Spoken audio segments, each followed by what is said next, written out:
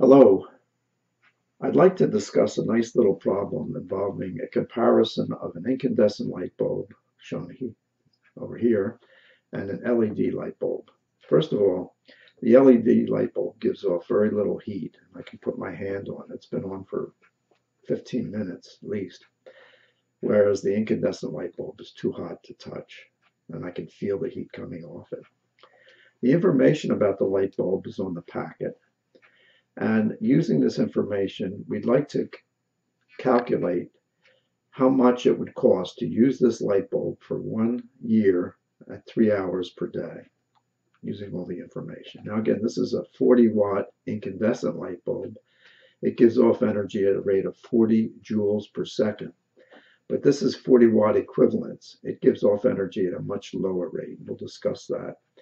Um, it gives off much less heat, but the same amount of light. So they both give off the same amount of light, but they give off different amounts of heat. So this is a very interesting problem for students. And for those of you who are teachers, I think it's a nice problem to uh, assign to your students. So let's get to it. Okay, let's uh, get going on this calculation. Here's the uh, container that the LED bulb came in. Again, it's a 40 watt equivalent, but it only uses 5.8 watts uh, of energy, joules per second. 5.8, a watt is a joule per second. And uh, okay, let's go down to the next part of the uh, container. It says uh, that it costs 70 cents to use it for a full year at three hours per day. And we want to verify that. We want to actually verify that that's correct.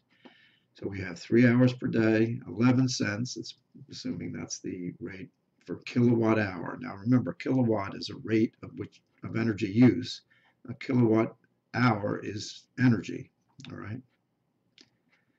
It's using a kilowatt for one hour. All right. And uh, by the way, the life of the bulb is supposed to be 22.8 years. All right. All right. So here's the problem. How much does it cost to use a 40 watt equivalent LED bulb for one year? Three hours per day, 365 days per year. Its energy rate is 5.8 watts, 5.8 joules per second, and it costs 11 cents per kilowatt hour. So we're going to just lay everything out using the factor label method.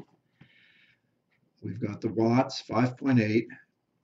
We want to convert that to kilowatts. So there's one kilowatt per every thousand watts. So that's its energy rate in kilowatts. Three hours every day. So this is the energy use per day. That many kilowatt hours, whatever that comes to.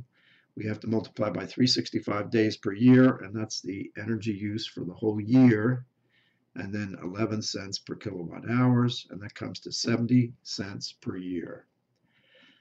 Now, if you compare that to the incandescent bulb, which is 40 watts rather than 5.8 watts, if you take that ratio, 40 over 5.8 times 70, you're going to get $4.83 as the cost for the incandescent. A big difference.